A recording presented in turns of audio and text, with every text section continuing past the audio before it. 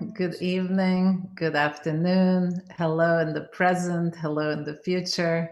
My name is Victoria Vesna, I direct the ArtSci Center at UCLA, and I'm so happy to introduce to you the work of Mick Lorusso, who collaborated with Joel Ong.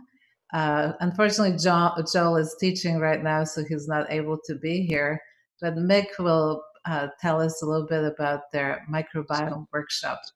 He started working with us and we started collaborating about six, going on seven years ago, and is an incredible artist, educator, um, person who really gives everything when it comes to creating teachers out of students and that's what we try to do to to have students understand that what they're learning is really about how they will teach their parents, their peers, and how we can all work as a community.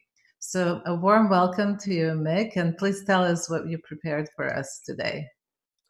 Thank you so much for the welcome, Victoria, and it's been a pleasure collaborating with the ArtSci Center for so many years. Uh, and in fact, Joel and I met at the ArtSci Center. Um, and we we talk a little bit about that throughout our our uh, lecture but um, we're we're very much influenced by the interdisciplinary nature of the ArtSci Center and uh, and the, the aspect of it being a hub for all these uh, mm-hmm. collaborations and and uh, it allowed us to uh, work with researchers at CNSI and uh, we were also able to work with researchers at the University of Buffalo uh, in New York and um, in the Alps. I was also able to work with a number of researchers, and, and all of these I would say really are are, are thanks to um, the ways in which uh, the ArtSci Center networks uh, and, and, connects these ideas. So, yeah.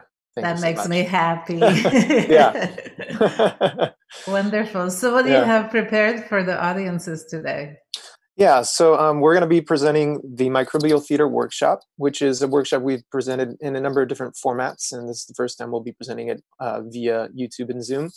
And it's it's really a, a, way of imagining uh, getting into the microbial perspective, and you'll see we'll talk about that, and, and uh, through different phases, uh, understanding how to witness the world, uh, how to discover the world through the microbial perspective, and then how to perform uh, from that perspective and create stories and narratives. And so, uh, yeah, I'm happy to be presenting this. And Joel is also uh, present with us uh, via the workshop. So wonderful. Okay, so let's go to it.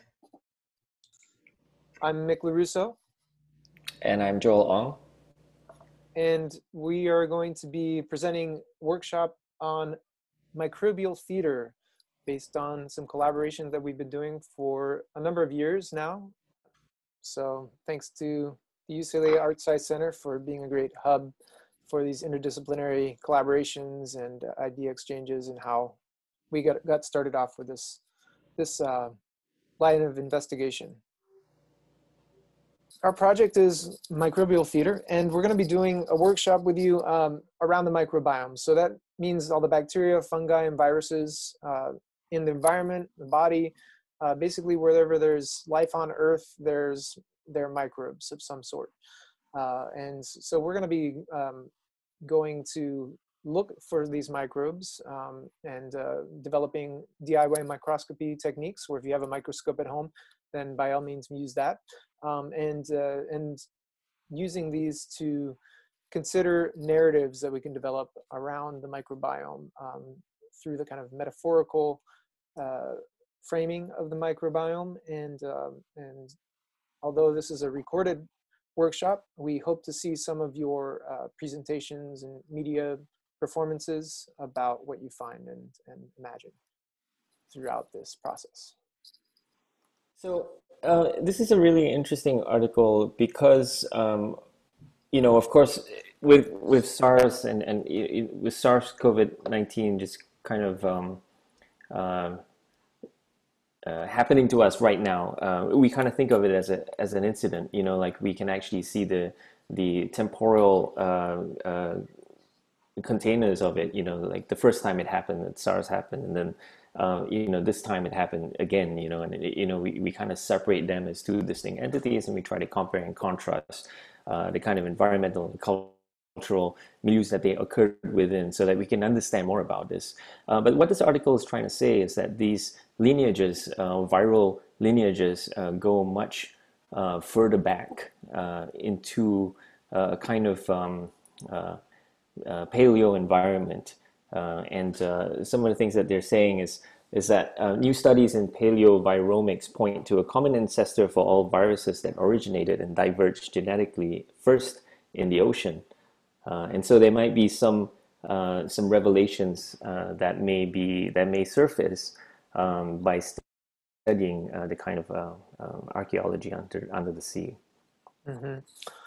Yeah, and so I think it's a really beautiful article in that it it it brings up, up the fact that um, the ocean really does absorb the the atmospheric conditions of a certain time, uh, with cold currents originating up in uh, kind of like the the poles. Um, they'll these cold currents will actually dip down into the deep ocean and bring whatever atmospheric information down into the ocean.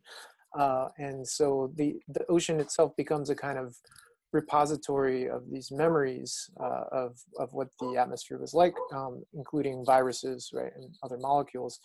Um, and it's also uh, this really beautiful idea of, of the ocean having a kind of um, consciousness or uh, ability to um, remember, right, and share information with us uh, throughout the, the ages. So um, yeah, and and I think the reason why we're starting with this site, um, with this, you know, with this slide is really the idea that the ocean can be a kind of of witness, um, and uh, in media theorist uh, John Peters' description of what witnessing kind of is, you know, there's you know all these different kinds of, of being a witness i mean and obviously it takes on a very kind of cultural and social responsibility right now um, but he talks about the process of witnessing as one that engenders an implicit responsibility to truth. So um, over and above the institutionalization, uh, you know, in places like the courtroom, where you can be a material witness, or mass media, where you think about televisual uh, witnessing, the truths that uh, Peters alludes to lay hidden within the complexities of sensory uh, experience in the way that the adverb witnessing may be preferred to viewing, listening, interpreting, or decoding in the consumption of art and other sensory media. And this is really uh, important for us because our collective project proposes um, an aesthetic component to the exploration of the microbial world um, or the creation of the quote unquote microbial witness, uh, which, which we call a, a kind of quiet but powerful protagonist founded at the interstitial spaces of science, art, and mythology. Uh, and what we're interested in doing is a systematic cataloging of its Umwelt, uh, which we call the microbial atlas. And we envision that through this artistic research process, uh, we, as well as our audiences, uh, may also adopt a kind of ecological moral responsibility uh, that uh, kind of arises from this understanding of, of witnessing.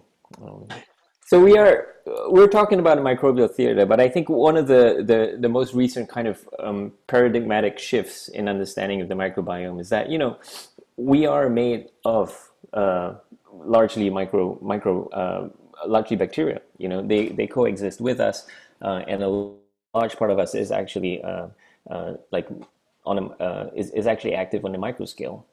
So in the sense, you know, the, the first kind of uh, provocation we might uh, might present is the idea that we are the microbial theater in the way that we are the site.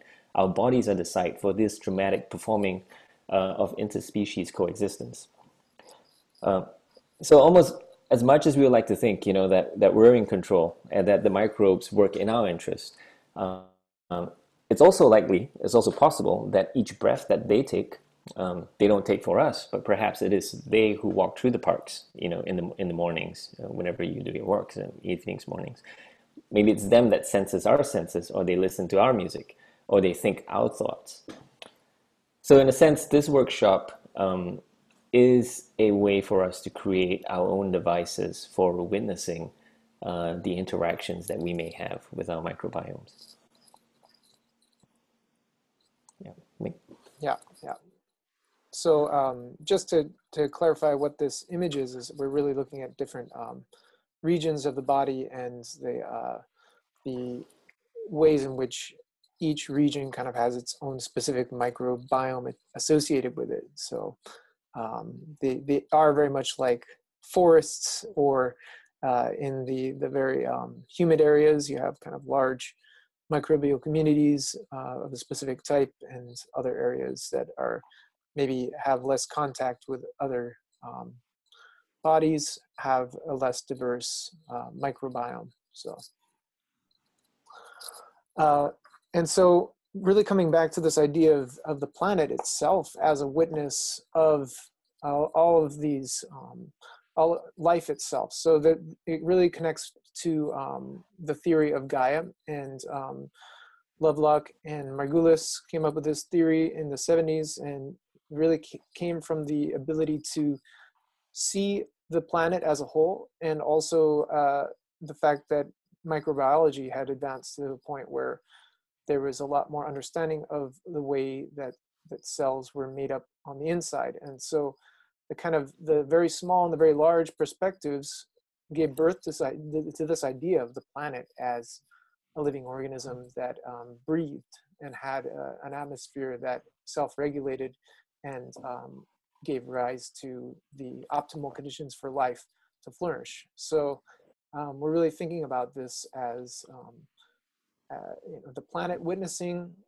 and also each organism on this planet witnessing the unfolding of life in this kind of dance. And so we have an image drawn by uh, Anton van Leeuwenhoek uh, in one of his early microscopes um, here on the right, and uh, of course the, the famous Apollo uh, images of the planet taken in um, the 60s and 70s were very instrumental in developing these ideas. Um, and so one of the ideas that came about that that uh, really um, brought about this idea of the, the Gaia theory was um, endosymbiosis as well. So this idea that cells, Lynn Margulis proposed this idea that the cells that um, are in our bodies or in, in complex plants uh, are actually made up of ancient microbes that teamed up in the past. So it, symbiosis on the inside, endosymbiosis. So we have an image of mitochondria, uh, you know, the, the powerhouse of the cell, which was an, uh, a microbe that was at some point adapted to high oxygen levels created by um, cyanobacteria. 2.4 billion years ago. These other uh, cyanobacteria also teamed up with plant cells and became the chloroplasts uh, that we know of today. So um, this this is also an exchange of of gases, uh, oxygen and carbon dioxide, that is a dynamic dance that creates the atmosphere of the planet itself. So again, going back to this self-regulation of the planet as uh, the nurturer and um, witnessing agent of life itself the image uh, with paired with the planet Earth earlier was a drawing that Van Leeuwenhoek made with one of his first microscopes. And this is actually what Van Leeuwenhoek's microscope looked like. It was essentially um, this uh, little contraption with um, with some kind of screw-like bits to for focusing. And um, the most important part is the small glass bead lens uh, that allowed him to achieve uh, magnification great enough to be able to see bacteria and what he called animalcules. You know, so this is a moment of uh, at least uh, Western society having direct observation of uh, these tiny creatures that before were really kind of um, invisible agents. So in some of our early experiments, we started doing these um, um, uh, kind of microbiome um, uh, this, uh, harvesting experiments uh, in the air. Uh, and uh, we kind of chanced upon a particular microbe which we later realized was ubiquitous. You know, it's one of the most common microbes around is Pseudomonas syringae that existed actually in the clouds. Um, and so it, it, kind of led us to think about, um, you know, early writings by uh, mathematician Charles Babbage, for instance, who talked about the air uh, as a never-ending repository of all utterances and sound. And we started thinking about, uh, you know, perhaps genetic materials uh, and particular, particularly genetic materials of aerial microbiomes that could be uh, a kind of um, database uh, for storing uh, information and memories. Um, and so it kind of leads also to the idea that you know not only the ocean as a, as a kind of witness of the of these unfoldings, uh, but also like the clouds and the atmospheres. Um, you know, with one of the things that, that really drives our project is uh, an understanding that microbes perform many, many roles. Uh, so these microbes are the, the um, Pseudomonas syringae was first studied as a plant pathogen, uh, which is able to cause freezing in plants. Uh, they're, they're able to create ice crystals um, uh, in temperatures above uh, freezing. And, uh, but they're also, you know, at first they were studied as something that was kind of negative, destroying crops. But they're also then seen as ability to create the clouds and, and to, to help seed rain. Yeah, neither neither positive nor negative, but having kind of uh, understanding that they they perform many many functions within different ecosystems. So. Mm-hmm. I mean, as an aside, um, you know, uh, Pseudomonas syringae is implicated in um, a lot of uh, conspiracy theories around weather, weather modification. Uh, and of course, you may know that climate geoengineering is, is one of the biggest kind of plan Bs for climate action to today. Uh, if things don't work out, we'll just start throwing things into the atmosphere and seeding clouds so that they'll create enough of a cover to reflect sunlight back out into space. Um, that's one of the ways that uh, they're looking at it. And, and while they're not talking so much about um, uh, bacteria and in particular also you know the possibility of genetically engineered bacteria um, there is a thought uh, that these uh, may be uh, one of those particles in the future uh, that may be deployed uh, on, a, on a large scale into the environment so that they can particularly affect these kind of changes in our atmosphere. so I presented a work entitled Terra Ad Venti, which is Latin for between the, between the ground and the air uh, at uh, a, a, number of places um, recently that, that just kind of thinks about the aesthetics of these things. So if we were able uh, to genetically modify Pseudomonas syringae um, and change certain aspects of ice nucleation zones and change certain aspects of its DNA to encode certain levels of, of, of poetry or text that we could encrypt within there, uh, would they be able to allow us to customize clouds of the future uh, and also to customize uh, the content perhaps of rain? You know, we talked a little bit about witnessing in the microbial theater, and now, you know, we're thinking also about discovery, uh, which, you know, one can argue to be the central, the fundamental drive motivation for science, which is like the discovery of new uh, or the exploration of new environments and, and the discovery of new knowledges. So in that sense, uh, we were very interested to discover the microbiomes of new environments. And so we uh, looked to the skies. Uh, we sent some weather balloons up uh, with some filtration hardware. Uh, we also did some workshops where we would uh, invite people to design payloads for weather balloons as well. that included petri dishes that would be able to sample the aerial microbiomes. we also did some sampling tests uh, at the Niagara. Um, I think this was the rapids before the, the actual falls on the on the U.S. side. Uh, so th- those were interest, really interesting experiences. And, and and Mick, would you like to share about the uh, uh the Alps one? Yeah, so uh, I was invited to participate in an interdisciplinary expedition to uh, the Aletsch Glacier in the Alps. it was the Matze expedition, and um, we went up there, and I was taking samples of the aerial microbiome using kites uh, and also taking some samples of the microbiome from the glacier itself.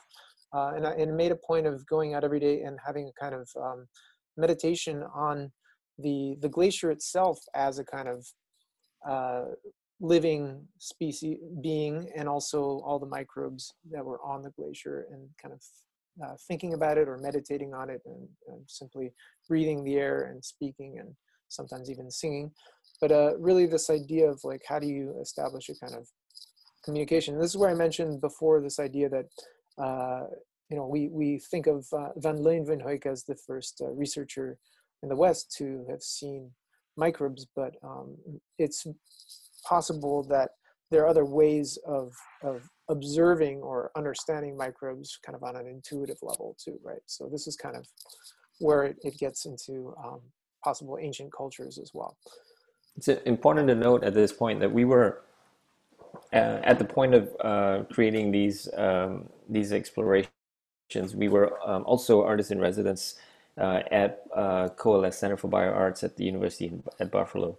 That, that permitted us to do some important research with um, with metagenomics and mm-hmm. metataxonomics, and so uh, yeah, thanks to uh, Solon Morse there at the lab, he he really guided our exploration in in the direction of um, the really the most current research with the microbiome and really the reason that the microbiome has become such an important topic is because of this technology. Uh, it allows you to see microbes that would not necessarily grow on an agar plate. Uh, you can take a sample from the soil from the air from the water and you can uh, amplify the dna and uh, get a, a profile of all the species of bacteria that are present in that sample there's a number of really important projects that have been utilizing this technology and allowing kind of this um, data crunching to occur across the world. And did you want to talk about this one, Joel? Yeah, so this is the Earth Microbiome Project, which uh, really is is a multi-site exploration into uh, into the microbiome, uh, and in particular, it notes the occurrences of them and draws a, a, a trace, uh, you know, a line across these uh, similar occurrences in order to show a pattern of migration or movement of these microbes uh, across the earth. Um, and and that's all I can really say. I mean, it, it's a it's a fascinating graphic. Uh, yeah. Yeah, and I guess one other thing to, that's important to note is that they're really compares comparing different, uh, very different parts of the world and understanding how these biomes actually share many of the the same kind of um, not necessarily the same species, but but similar types of um, microbes that are fulfilling similar functions in these uh, different biomes. Uh, so it's really part of this effort to understand how the microbiome connects all of life on this planet. And um, there are a number of institutes that are looking at this and, and using the data to understand it. Um, so there's the, the EMBL in, in Europe, um, the EBI, uh, European Bioinformatics Institute. And um, here we're really looking at the fact that um, one of the, the key players in the microbiome research, of course, is the human gut, um, thinking about how that can even influence your behavior. Uh, and then going all the way into the oceans and understanding how all the creatures in the ocean are influencing each other in the, this kind of microbial soup that the ocean is. Um, and even thinking about in the case of our research, how the ocean spray is produce is releasing a lot of these microbes back up into the air, which also influence the formation of clouds. Um, so really, as I mentioned before, you can go to any corner of the planet and you're going to find some kind of uh, some kind of uh, living entity whether it's a virus, a microbe, or um, a bacteria, virus, uh, or a protist, or an archaea, um, and they're all interrelating in complex and beautiful ways. So, um, yeah. So another thing that we wanted to show is this map of the human microbiome. So there's been a lot of research done on the human microbiome, and um, it's a beautiful rendition of one of these uh, metagenomic profiles and how many different species are involved in in the human uh, body. And this is actually kind of a trimmed version here, but um, there there are many many species that are uh, relating to each other and um, oftentimes uh, helping even the immune system signal uh, when when pathogenic microbes are trying to kind of get a foothold it's oftentimes the, the microbes that are part of our microbiome that actually signal the immune system and and oftentimes also those same microbes are performing a function of, of uh, defending their territory, if you will. And I think, you know, this, this whole zooming out into the planet, planetary kind of imagining or envisioning, uh, and then zooming back into uh, the human microbiome um, is, is a kind of real interscalar leaps that we are, we are making um, on a daily basis right now. Uh, and of course, one of the one of the biggest uh, parts of it is, is has to do with the imagining of um, your sphere of microbial influence uh, in the time of COVID-19 in the time of social distancing, where the six foot radius is, is kind of like the, the safe space, you know, or uh, that you have to keep from someone else in order to prevent contagion. Um, and of course, you know, these has its roots um, in, the, in, in schools of thought that include Edward Hall's uh, proxemics, and, and Hall was a, um, an American anthropologist who wanted to describe how people would behave and react differently, uh, differently in different types of culturally defined spaces. Um, so as you can see in the diagram, uh, it's, it's basically a visualization uh, of these radiating spheres of influence from intimate space to personal space to social and public spaces. Uh, and one could think about uh, a visualization of uh, microbiome as well uh, that would be differing within these spaces, and then to see how these might actually be uh, overlapping in terms of their cultural constructs or, or their uh, geo geographical constructs or, or, mineral constructs, even you know, in terms of depending on what kinds of environments that you would be in. But this is definitely also meant to be a kind of provocation for the workshop itself and, and uh, for anybody who might be interested in going out and, and mm-hmm. making samples um, in these different kind of spheres of influence and, and considering just like within your own home even and kind of like uh, and the space around your home or in your apartment building for example or around the house um, yeah it could be an interesting investigation um, and so we're getting into the aspect from discovery, we move into performance. Uh, and these are aspects of the, the workshop itself uh, when you go out and start doing your own experiments.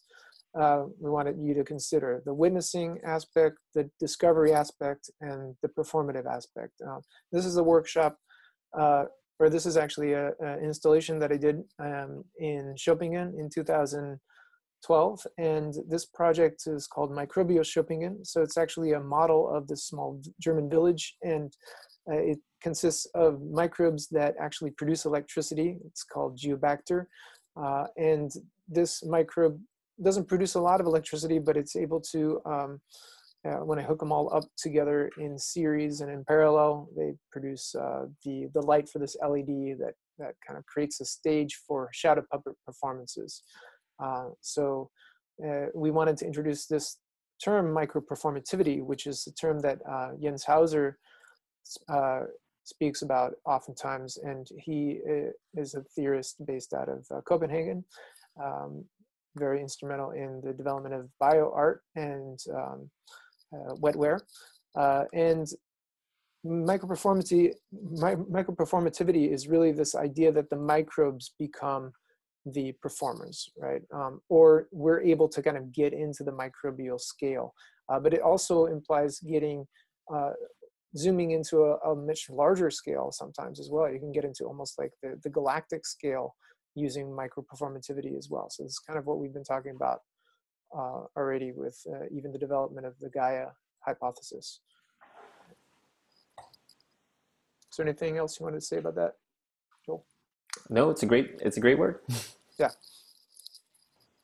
Uh, yeah. So this is a drawing I did based on a, a scanning electron microscope image of the Geobacter metalloreducens, and this is the uh, the star of that that installation.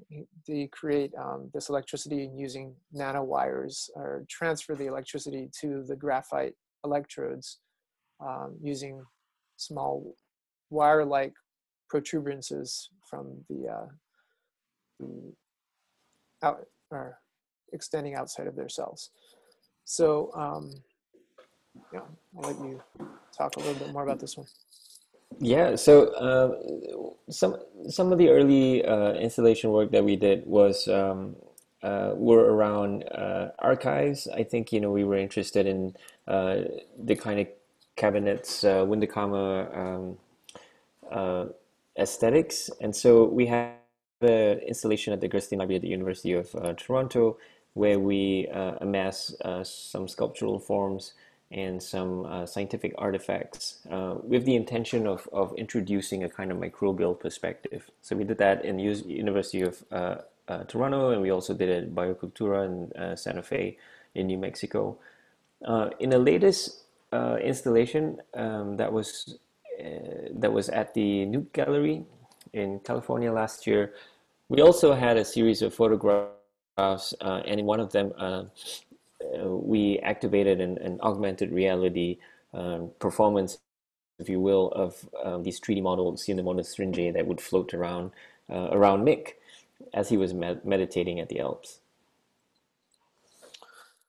Yeah, so um, different ways of presenting the research uh, to the public, and it, uh, you can kind of tell that we have also done quite a bit of research on the soil and the microbiome of the soil and how that interacts with the, the air and our own bodies through this process. Uh, okay, yeah. So Jennifer Willet uh, is has been doing a, a, a number of uh, projects with microbial or microperformativity, uh, and uh, this this is a one that really um, inspired us because it, it's um, this idea of creating a these baroque stages and allowing the microbes to uh, explore the stage uh, to create their own performances in the stages on the petri dishes. Uh, and I believe that these are also uh, genetically modified. Some, some of these are genetically modified strains. Project and a friend of mine in Mexico City, uh, Gilberto, Gilberto Esparza, has been doing projects with um, the same bacteria, Geobacterium metallireducens, um, in these robots. Uh, so the robots actually go out and um, siphon up this contaminated water in, in the rivers around Mexico City. Uh, many of them are, are, highly contaminated with industrial waste. And uh, the interesting thing about this, the process of the microbial fuel cell uh, with this uh, geobacter is that it helps clean out a lot of these toxins. It, um, there's even some research showing that the geobacter can sequester uh, uranium waste. Uh, and it's also a whole symbiotic environment um, with plants and technology and sensors to help this robot get to this contaminated water and produce uh, so that the bacteria can produce the electricity to allow it to move. Um, so it's really a, a, post-apocalyptic scenario in a way to this idea that the, the, the, the robots will be able to uh, clean up these rivers even if humans aren't around uh, to create conditions that are more ideal for uh, propagation of life. Um, and another great example here is uh, Nina Weisman. So she's looking at the movement of microbes and then translating that into choreographed dances in public space. Uh, and so it's really a way of this, again, microperformativity, understanding how uh, microbes communicate and move on this small scale and um, and then translating that into the human body so that the performers are, are, are first having this kind of tangible sense of what it is to become microbe. And then we as observers are also um, led into uh, having a better understanding of, of kind of how they sense their world and how they uh, communicate with each other. Now, I, I think it's also interesting um, that the performative process, uh, the research creation process involves kind of imagining or envisioning, uh, putting yourself in somewhat of the microbial umwelt uh, to try to under, begin understanding it uh, at a different scale uh, and perhaps a different uh, temporal zone as well. yeah, so um, Anna Dumitriu, who's also going to be uh, giving a talk in this uh, garden with UCLA, is uh, an artist who's definitely inspired a lot of our research as well. And she, she's done some projects looking at the history of um, the plague and tuberculosis. And this is a, a Victorian dress with a uh, projection mapped image of or video of um, the tuberculosis, the bacteria that causes tuberculosis projected on top of it and the genetic code of that same microbe projected behind the dress. Um, and so really thinking about the kind of range of visual performativity and understanding um, the relationship also to the kind of social structure of those times and the, the kind of uh, the Victorian uh, concepts of, of even beauty and um, some of these kind of aesthetic concepts came also from the influence of disease during that time you know so uh, she's referring to a lot of these aspects uh, and the family biocrest by Kathy High, it's a friend of ours as well, and she's been doing a number of research projects on her um, own microbiome uh, and comparing it with the microbiome of uh, other individuals in her family, and um, and also going into the De Paulo lab, uh, a collaborator for a number of years, uh, who uh, they actually started their collaboration out of the UCLA Arts Science Center, out of a, one of the Leonardo rendezvous, um, and so creating these kind of family biocrests uh, looking at the the microbes and how they influence each other in a home, uh, and and as an individual with Crohn's disease, understanding how um, her microbiome has shifts in it that are very contrasted to the microbiome of a healthy individual. And they're looking at the the microbes from poop, right? So to make these comparisons, um, and not just human poop, but also the the um, dog poop in in a family, in a household, and how they actually, these microbes influence each other in a home. They create a kind of microbial fingerprint of all the individuals in a home. So another really wonderful example of the microbes performing here is um, the Physarum polycephalum, which is uh, slime mold or uh, is a protist. So it's uh, not a fungi, although it's called slime mold uh, and is able to form these networks very quickly. It's intelligent networks. So it's used for um, artificial or artificial life investigations um, and also uh, in the Adamans- Adamatzky lab, really kind of thinking about how these um, this microbial life is able to uh, solve problems very, very efficiently and quickly. Uh, so um, here we see the network of highways in the United States being formed by the slime mold uh, between these grains of uh, oats. Uh, another great example of, of kind of um, you know transversing uh, the the human and the microbial scale is this uh, performance workshop that she uh, Heather Barnett does, and the way she invites people to um, to think about navigating as a group. Um, so uh, in a way, uh, she advocates this this uh, like being slime mold um, kind of activities that allow them to uh, self-organize in a group uh, with very simple rules um, that uh, you know algorithmically create these sense these these collective movements towards or away from a, um, a, a motivation a motivation. So what we're going to do in this workshop is um, learning about we've learned about the microbiome a bit now already um, and we encourage you, you to do some of your own research as well. Uh, but before um, hopping directly into the workshop but um, we also are going to be developing these stories about the microbes um, and in your own locality or maybe you're thinking about the microbes on the world uh, or maybe you want to create kind of more of a fictitious story uh, you know, it's very much up to you, but really exploring the microbial perspective, the microbial umwelt. Um, and if you really want to get into this workshop, more than just like the kind of hour that we're explaining it and um, maybe like the time it might take you to do some samplings, we highly encourage you to pour some agar plates um, and take some samples from your environment uh, and look at them under a microscope before culturing them on the agar and then also after culturing them on the agar.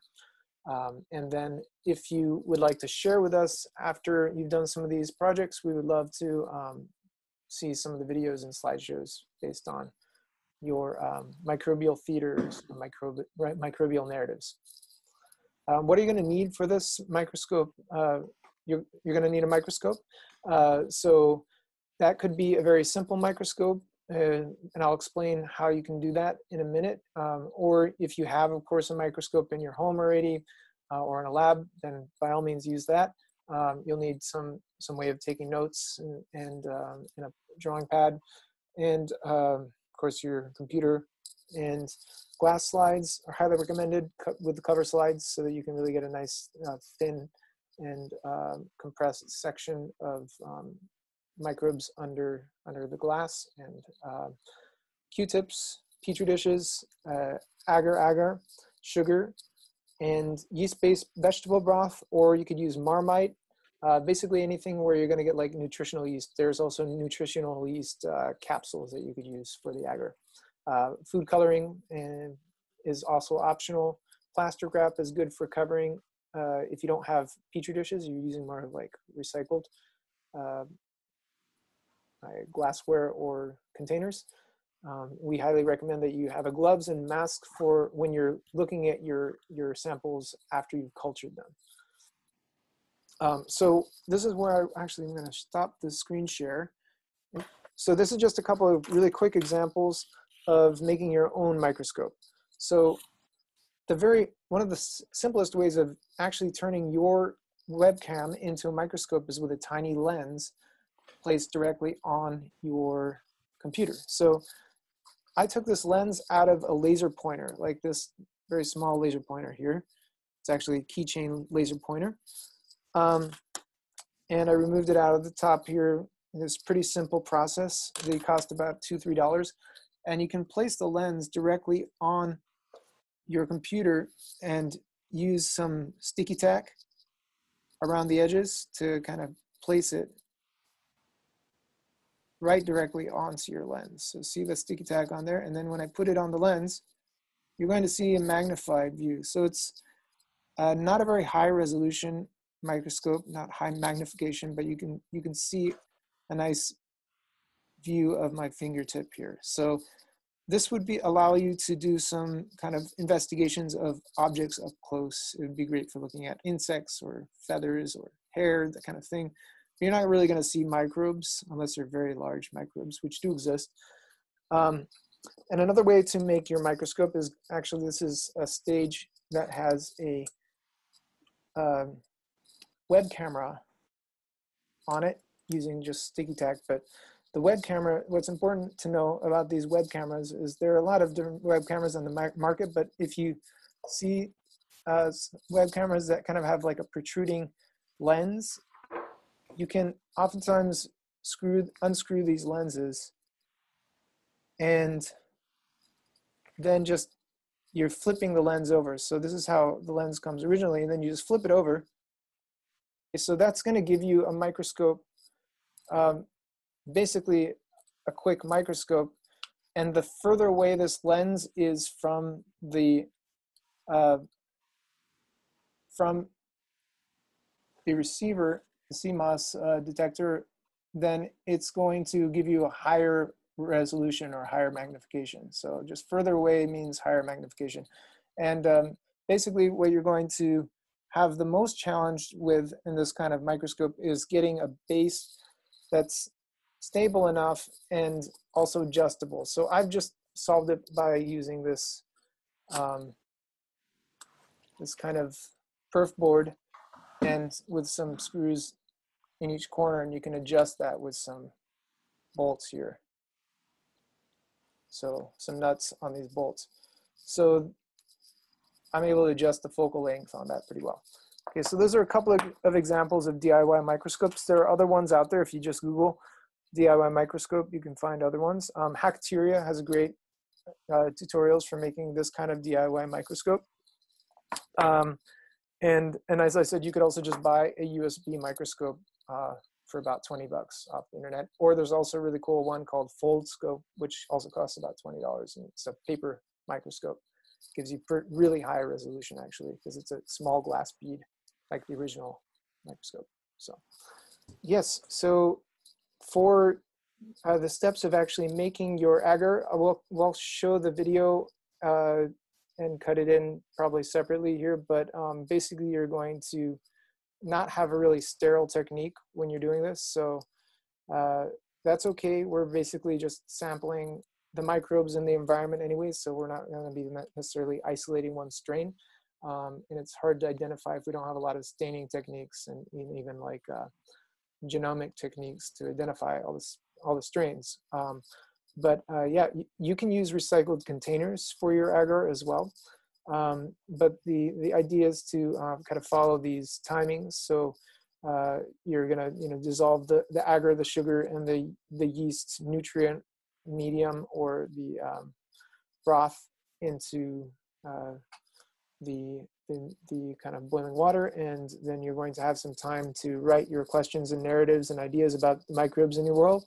Uh, then you're going to pour the the agar before it's cooled down too much. Still needs to be liquid, but you don't want it to be uh, steaming. So just when it sort of stops steaming a lot, you can kind of pour it, um, and it's not going to affect if you're using um, like recycled plastic containers.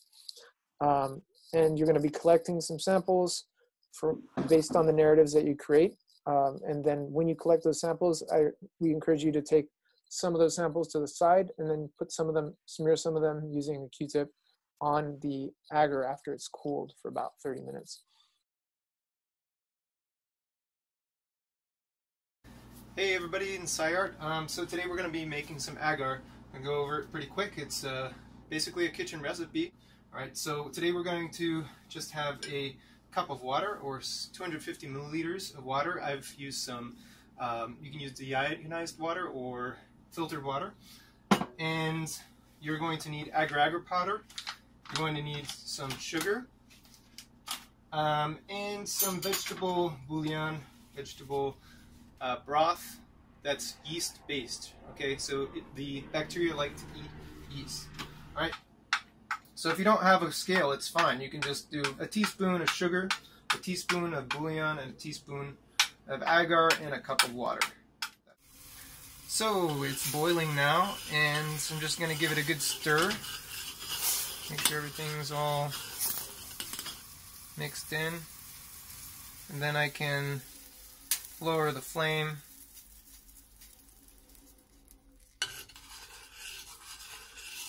Give it another couple of nice good stirs and let it cool. So you should let this cool for about 15 minutes before you pour it into your petri dishes or uh, recycled containers. All right, everyone, so we're ready to pour. The agar has cooled down, is not um, scalding hot anymore, but is still liquid.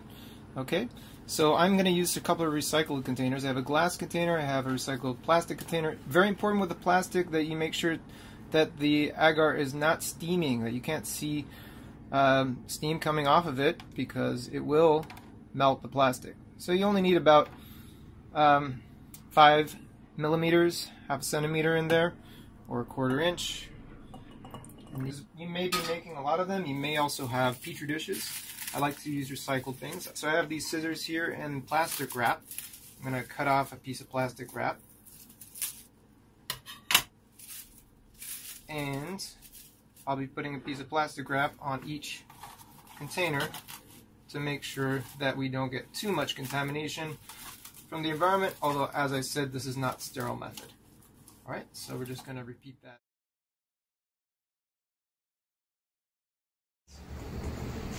So I'm going to now take some samples from the plants around here and the soil.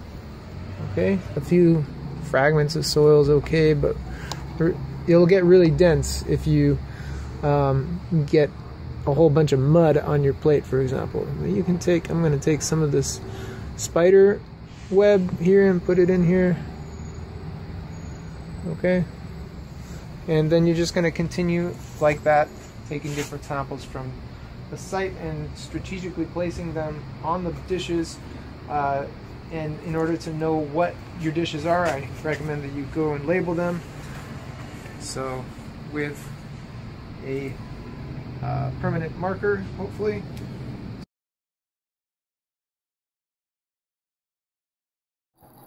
Hey guys, we are going to look at our plates today. Remember to wear gloves and a mask.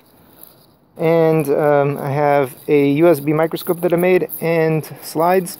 It's plugged into the computer already, close to getting in focus. All right, so I want to just look at some of these samples. Let's take a look at our plates. A lot growing on them. This is Sunday, and I streak the plates on Wednesday. Okay, so I'm just going to take a sample off of this plate of some of this kind of bacteria that looks kind of uh, kind of wrinkly. I think that might be Actinomycetes, which is a bacteria that produces antibiotics. Okay, I'm just going to place a little bit of that on the plate here. Very, very small streak. Okay, leaving my Q-tip on the paper and I'm going to put a little drop of iodine or deionized water, whatever you have, on the plate. Put on the cover slip. Now the cover slip, you're going to want to put that on from the edge down so you don't get bubbles. So I'll just take this, grab the edge of the drop. Now it's on there. Okay, let's take a look at what we're seeing on our computer now. Once you have your microscope close to being focused, you will get to start to see some particles of dust, hairs, and most likely you will be seeing the clusters of bacteria that you streaked on the plate. You're going to have to mess with the focus a lot to be able to see the bacteria clearly, however. Right, so that's why it's important to just kind of record in video mode and you will get some footage for sure. All right, so here we are seeing some of these bacteria. All right. Have fun, good luck, and be safe. Remember to use a mask and disinfect with alcohol. You can disinfect your gloves with alcohol and wash your hands after you're done doing this.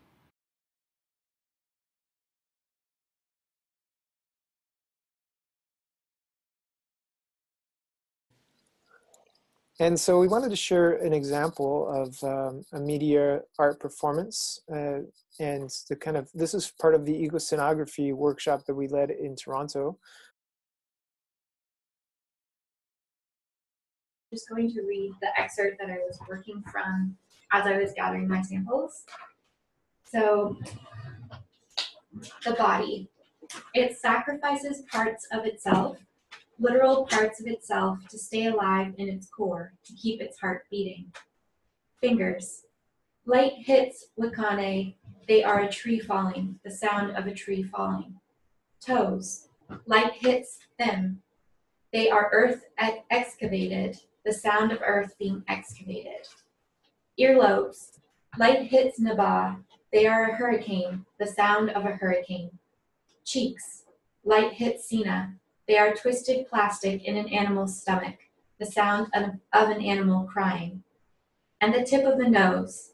Light hits all bodies. They are poisoned water, the sound of a tap turning on, boiling water, boiling. They are all boiling. I wonder how long it takes to get to the core. Um, so when I was reading the whole play, um, for me it's a movement piece. Um, and I wanted to think about uh, the choreography of the space and the bodies in space. So I made two studies. One was a micro macro study of all of these natural element, elements in relationship to the parts of the body. So I took samples of a piece of a trunk, um, some plastic, a plastic fork that was in a bag in the garbage that had chicken juice on it. I took a bit of dirt I took um, some earwax of my own, so a swab from inside my mouth. Uh, I put my toe on the plate. I put my fingers on the plate. So I, I kind of combined all of these body elements and natural elements in the macro version, and then I did a micro version where I, instead of separating all these elements, I put them right on top of each other. So then I wanted to use the macro as my stage somehow, and then imagine that the micro ones are my dancers, Hmm. and to do a storyboard of how these bodies could move in the space throughout the whole play. So this would be like one of the storyboards. And then from there, try to figure out how that becomes 3D and becomes a physical space. And this this um, kind of explains some of the things that we would like you to integrate into your media performances. Um, so the idea is to really integrate some microscope footage. So no matter how what magnification you have, get some kind of close up close up uh, views of objects, or if you if you have a high enough resolution microscope to actually see the microbes, uh, then you know that that'd be wonderful, and you could do some kind of uh, recordings of, of microbial movements and interactions, right? Um, but to really think about uh, also the mythological aspect or the metaphorical aspects of this. And in the ecoscenography workshop, the metaphorical aspect was uh, came from these plays that were all about climate change. Uh, and so uh, some questions that we'd like you to consider are, how do you imagine microbes interacting and communicating? What kinds of relationships might be formed? Uh, so by that, we're, we're sort of talking about like, what's the relationship between the microbes or how, what are the relationships between uh, bodies and microbes or between an environment and microbes? And are those relationships constructive or, or destructive or both? Um, you know, kind of like what we're talking about, even with Pseudomonas syringae, syringae where it's, where it's a plant pathogen, but it's also uh, demonstrated to be helping cause rain, you know, so So, I mean, you know, the question is, what kind of narratives could you actually come up with? Um, and uh, for us, we we did a you know a number of workshops where we we had people uh, work on these together and and with us as well. So this was one of the the, the narratives that we wrote, um, kind of just experimentally, um, but it. It gives us the opportunity to interface with um, other systems of knowledge, I guess, other um, uh, school of, schools of thought, uh, or, or, systems of or belief systems uh, that don't traditionally enter uh, the rhetoric of science. Uh, so, in this particular narrative, we were interested in the North American myth uh, of the wind eagle, uh, who's these um, the archetypal controller of the wind or creator of the wind. Um, and in this particular mythology, uh, we think about the wind eagle as uh, collaborating with a microbe that we that we call Polaramonas aeolata, and they both live in the in the wind and and um, collaborate to to control and modify the weather.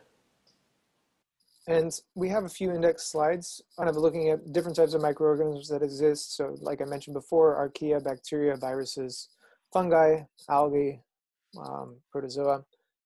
Uh, so this is the microbiome. Um, interestingly enough, the virus that's depicted here is, I believe, a coronavirus. that was that predates the pandemic, though. Um, yeah, and these are, like I said, in the slides that when you want to um, actually go go to the slideshow, we we can share that on um, the ArtSci site, hopefully, and um, yeah, different microbes that you might find on your plates. So Staphylococcus epidermis is one microbe that's very common on the skin. You might find that on your plates. Um, there's some different ways of uh, identifying that.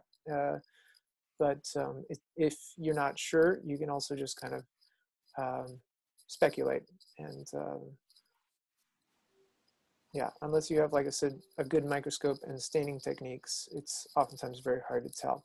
E. coli, of course, a very famous microbe used in biotechnological research, and um, you are very likely to uh, find strains of that, um, depending on where, where you're looking. Of course, it's more common in the intestine, so um, uh, if you're not sampling fecal matter, you're probably not going to find E. coli. Um,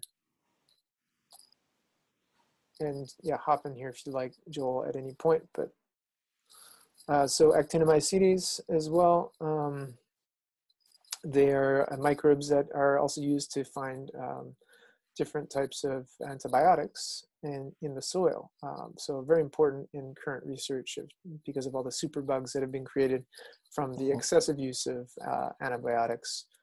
Uh, so looking at, interestingly enough, still looking for antibiotics, but um, uh, different strains of uh, different types of antibiotic that can be used more specifically for specific conditions and not just like across the board like giant, you know, bombing the body with high doses of penicillin, you know.